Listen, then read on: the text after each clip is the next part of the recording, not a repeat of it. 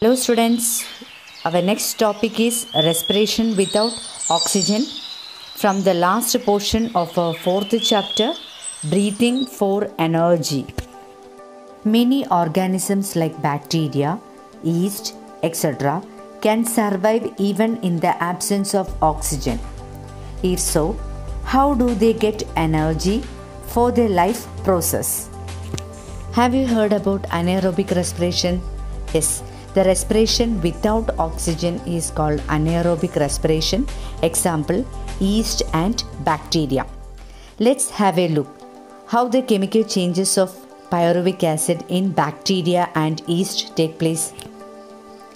In the cytoplasm of bacteria, glucose is converted to pyruvic acid in the presence of 2 ATP molecule and give rise to lactic acid in the yeast also, the glucose is converted to pyruvic acid in the presence of 2 ATP molecule and as a result, alcohol and carbon dioxide are formed.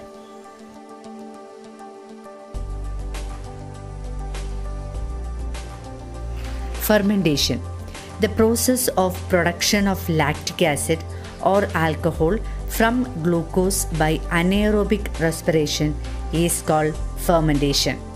For examples, in our daily life, we often make use of anaerobic respiration seen in microorganism. For example, yeast. Yeast give rise to alcohol and carbon dioxide.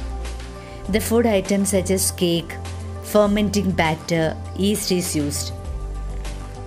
Another example is in the milk, lactobacillus bacteria are present which convert lactic acid and make the milk curd. Muscle fatigue. In certain circumstances, anaerobic respiration take place in human being also. During strenuous exercise, energy utilization in muscles increases and the oxygen availability decreases. In such situation, muscle cells produces energy by anaerobic respiration and lactic acid is formed in the muscle cells. Our next topic is lungs with care. The lungs can be damaged by dust, germs, chemicals, etc which are contained in the air we breathe in. And it is a respiratory system which protect the lungs from dangerous situation. For example, nose, nasal cavity, trachea, alveoli, etc. Smoking is a bad habit that harmfully affect the human race. Let's have a look the side effect of tobacco. First one is uh, lung cancer. The carcinogens present in tobacco causes lung cancer. Second one, emphysema. The alveoli rupture due to the loss of elasticity by the deposition of toxic substances contained in the tobacco. This reduces the respiratory surface and reduces the vital capacity. Third one is the bronchitis.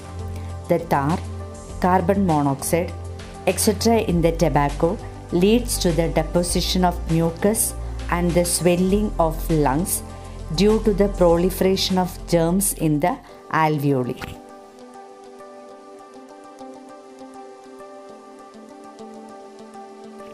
Apart from protecting the lungs, care should be taken to increase its capacity too. First one is the tidal volume. Tidal volume is the volume of air we breathe in and out during the normal breathing. In human, the tidal volume is about 500 ml. Next is the vital capacity. Vital capacity is the volume of air that can be breathed out by forceful expiration after maximum or forceful inspiration. Vital capacity can be taken as an indicator of normal and healthy respiratory activity and strength the muscles in the thoracic cavity. This is about 4.5 liter in male and 3 liter in female. Our next topic is respiration in another organism. In amoeba, the respiratory organ is a cell membrane and exchange of gases take place through cell membrane through which oxygen diffuses from water.